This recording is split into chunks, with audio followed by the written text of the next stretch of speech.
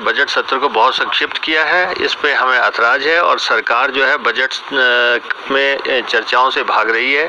सवाल ये है कि बजट सत्र सबसे इम्पोर्टेंट सत्र होता है और इसमें जो है बीस बाईस सीटिंग्स होनी चाहिए थी। सरकार ने इसको जो है 13 सीटिंग्स पर सीमित कर दिया, जबकि समय है। या तो हो ना, समय की कमी हो। अभी तक पर्याप्त समय था और सरकार पूरा फुल फ्लैज बजट जो है की बैठकें करवा सकती थी, क्योंकि अ, इसमें जो है पूरे साल के दौरान जो हुआ उसकी समीक्षा होनी है।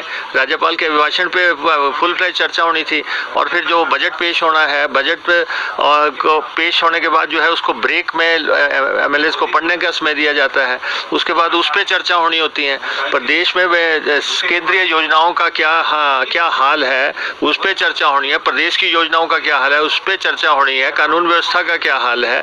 और अन्य जो लगातार मुद्दे जो है प्रदेश में क्रिएट हो गए हैं। सौ इश्यूज़ हैं। जो कि एक साल के दौरान क्रिएट हुए हैं उन पर चर्चा होनी है और सरकार चर्चा से भागी है और हमारा आरोप है कि सरकार जो है बजट सत्र फेस नहीं कर सकती।